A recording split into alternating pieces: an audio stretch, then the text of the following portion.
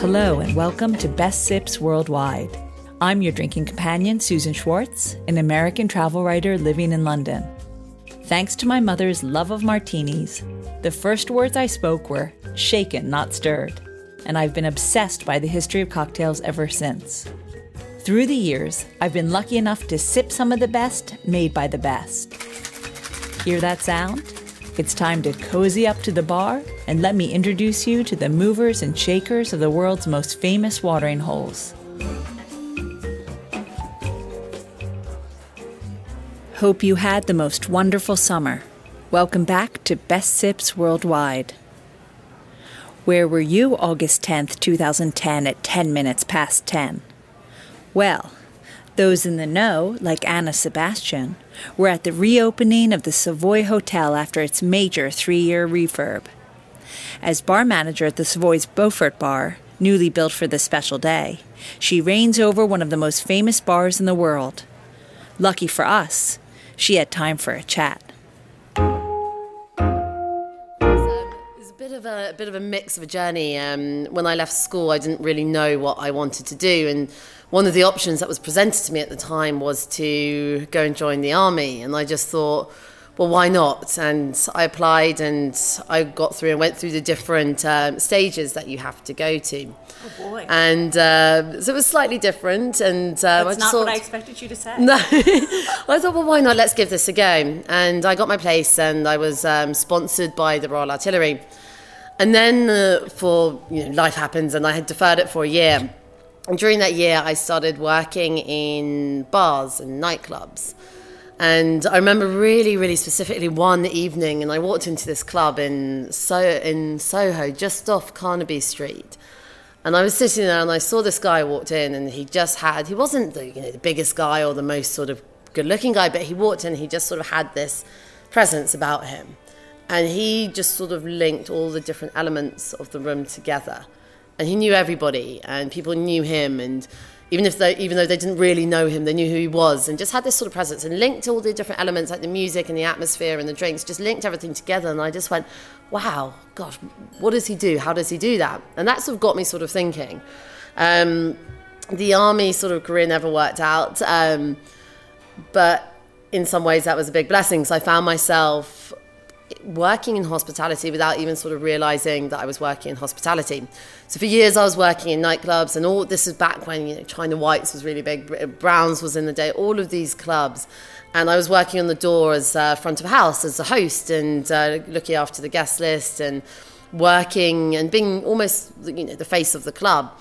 And at the same time, I started working for a PR agency. And the two combined really sort of gave me a really good understanding of the front of house side of things, but also what happens behind the scenes, how you market, how you PR, how you generate you know, an, a, a profile of who you are.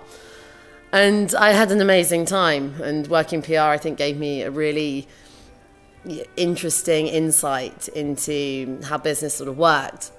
How old were you at this time? So this must have been around. I, this was between the ages of eighteen and twenty-three. So. So I was still quite. I was still quite young, but I was just really determined to make my mark and on whatever I did. And it got to the stage where working at the PR agency, I'd achieved everything that I wanted to achieve, and I thought, you know what, I need to. I need to do something different. And I saw that the Savoy was reopening, and the Savoy for me had always been something yeah, I'd always, always known about growing up in London. I'd always known about, and um, I'd been there. I think the first time I went there was when I was 11 for a party in the ballroom, and I remember coming up in the taxi and getting out and getting you know, driving on the wrong side of the road and getting out, and um, I remember the bright lights of it. So it'd always been in the background, and I saw a position as a host in the American bar, and I just went wow, this sounds good. Uh, let's give it a go. But I don't think I realised the magnitude of what was really happening and what it meant for the Savoy, which had been closed for just under three years, to reopen.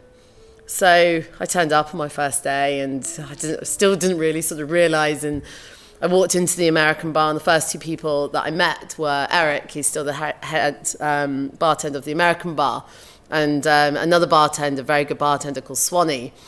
And I remember meeting them, and that was my first sort of image of the Savoy.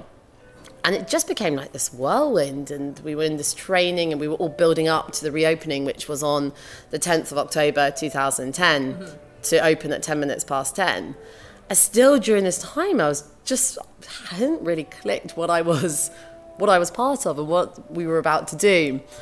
And then i remember being in uh, the day that we were opening i was scheduled on for an, a late shift but i came in because i wanted to see the opening. And i remember standing in the front hall with our with my leader at the time, um, the American bar manager Daniel, and standing there and watching the reopening, and then just like being told to right go upstairs and you know be be on the door and seat the guests, and it just after that it just merged into this big long time there, which was amazing, and I think throughout that time i that was the moment that i realized what hospitality was. It wasn't just about giving good service. It was about creating an atmosphere and creating a moment for people.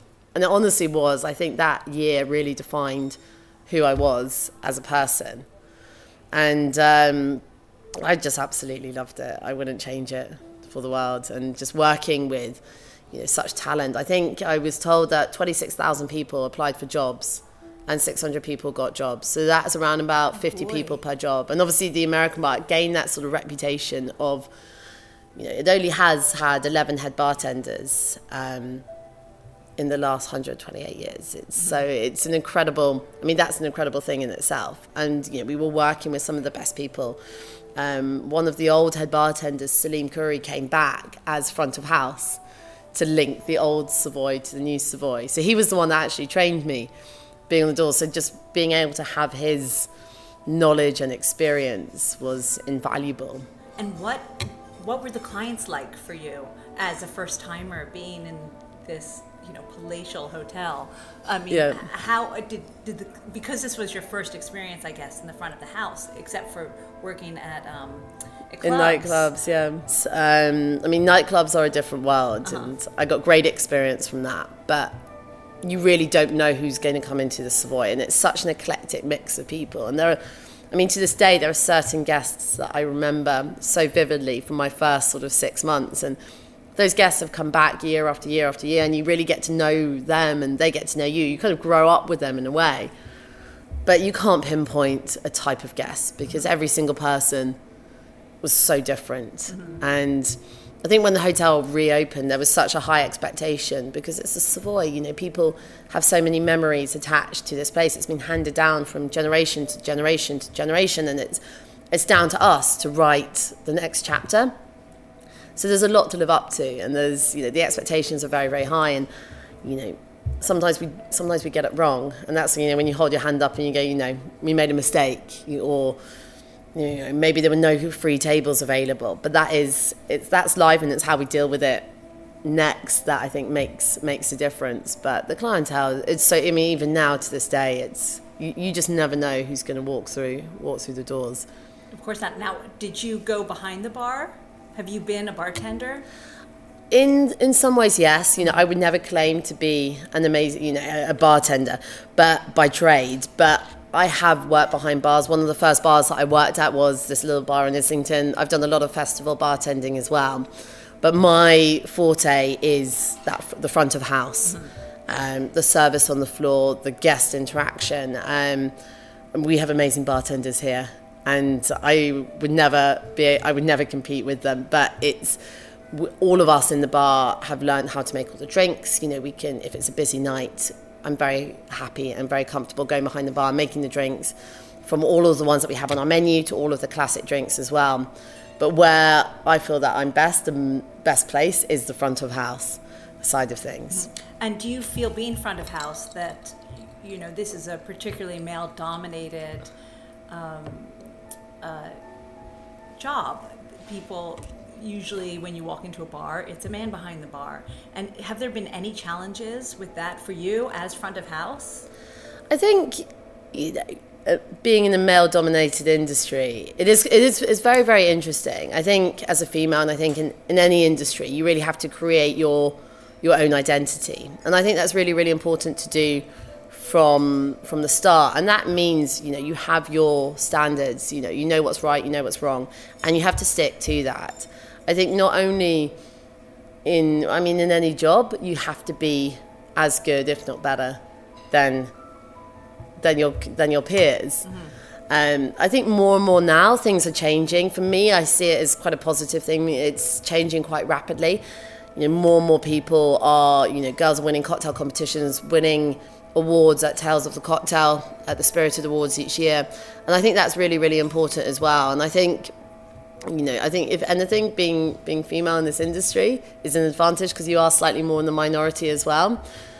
But I think it just depends on the individual. You have to make your stand. You have to create your own identity as well. So has that led to any surprises to you? Like, um, I think I mean this industry is full of surprises. Uh-huh. Just the same as you don't know who's going to walk through your doors. But I think once you establish yourself, then and you're confident and you're happy and you're comfortable with what you do, then I think that's when people start to take notice and you know take you seriously as well. But I think the industry is evolving and it's changing so much, even on a daily basis as well. So I don't see, for me, I don't see it being a challenge. I think it's something to embrace and something to you know, just like when I wanted to join the army, that's a very male dominated industry. Mm-hmm. But you have to, you know, you have to make sure when I was doing the training there, there's certain fitness levels that are for male and female, and you have to make sure that you hit those targets. And the rules shouldn't be different for male or female. You should be able to do exactly the same and do the same job without you know, being male or female affecting what you do. Oh no, I totally agree. Um, and and have you have now transitioned to the Beaufort Bar, being the yes. bar manager here. Yeah. Um, is that quite different from what you were doing at the American Bar? You know, tell us a little bit of difference about the American Bar versus the Beaufort Bar. Of course. So, you know, I was I was very very lucky with my transition here. It happened. Um, it happened very, very sort of quickly, and I came from the American bar. Um, at the time, I was a bar supervisor. That I'd moved up from host to bar supervisor, and then I came down to the Beaufort Bar. I mean, the basic things are very, very different. You know, the American Bar's open during the day. It's a very classic hotel bar. It has over 100 years worth of history. Uh, whereas the Beaufort Bar was a new addition to the hotel when we reopened in 2010. We're a late night bar. It's a very beautiful bar. It's black and gold. It's a very sexy, sophisticated, elegant bar. The drinks are very different. The American bar do amazing sort of classics, modern classics with innovative sort of twists. Here, I would say the cocktails are much more sort of theatrical. Um, we have ca- our range of character cocktails as well. So we have our equivalent of a martini trolley, where the trolleys get pushed to the table. And whilst the drinks are made at the bar, the finishing touches and the presentations are done at the table. So essentially, we're bringing the bar to the table and having that touch of theatre as well. Um, the site that the Beaufort Bar is actually on is the former entertainment room of the hotel.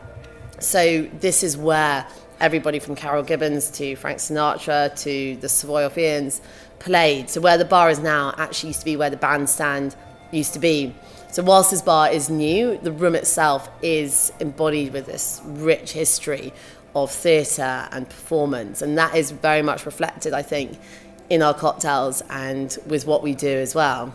The menu that you have now is yes. this fabulous pop-up menu and yes. i guess that's why as we were talking before there are a lot of character cocktails on the menu. Yes. Was that because of the history of this room? Yes yeah very much so. I mean our pop-up menu was created by our um, old head bartender chris moore who came up with this idea and we launched it two years ago. The actual inspiration for this menu was he found this amazing um, brochure advertising the Savoy Hotel in the States. It was a map of London, and in the middle was a pop up of the Savoy. And he sort of thought, how can I take this but make it into something that is relevant and interesting in the current world that we live in? And that's where the pop up menu came up. Um, you know, the idea came from, and we wanted to include our character cocktails these famous guests who have this huge association with the hotel. So Frank Sinatra, Coco Chanel, Ernest Hemingway, Marlene Dietrich, all of these people really shaped what the hotel was then and is today as well. And these cocktails are allow our you know team to have that interaction with that guest, that engagement as well and uh, just when the trolley comes to the table, the guests absolutely love it, and it is just something. It's very unique. It's completely different as well. It, you know, it's incredible. I'm grabbing one of these menus, and it is literally a pop-up book that has uh, how many are how many uh, cocktails are there in it? So there's 15 drinks Uh-huh. on the menu. and they are just creations. I mean, I saw that you had a paper engineer work Yes. on it. And how long did it take? So the whole the whole from idea to the actual execution was around about 18 months. It is one of the most beautiful menus I've ever seen. Thank and you. I am just popping up to the um, to the Frank Sinatra one. And maybe you can tell me, which is literally a, um, this, this is it. Yes, a keyboard with his face and a microphone. Yeah. I mean, it is so fabulous. Well- and the cocktails themselves. Were they created with the history of Frank Sinatra behind them? Very much so. I mean, we looked, there was a lot of research into it from the bartending team of what these characters liked, what they drank. And Frank Sinatra um, was known for his love of Jack Daniels, and so much so that he was actually buried with a bottle of Jack Daniels. So, this was very much the starting point for this drink, as something that we wanted to be reflected. And when he sat and played the piano, he had a bottle of Jack Daniels next to him, and he never wanted anybody to pour it. He'd pour it himself. So this drink is actually served in one of our vintage glasses, and next to it is a mini bottle of the cocktail as well. So the guests can either take that away with them, or pour it into the drink and finish the drink here. But this cocktail in particular. Um, is, is very important for us. I mean, about three, nearly four years ago now, uh, Frank Sinatra Jr. actually performed in this very, very room, just on the stage, just where the bar is now.